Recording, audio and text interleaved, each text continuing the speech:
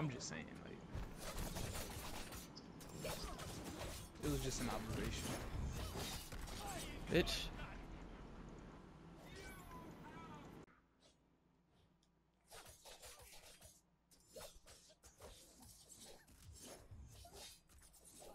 Oh my goodness.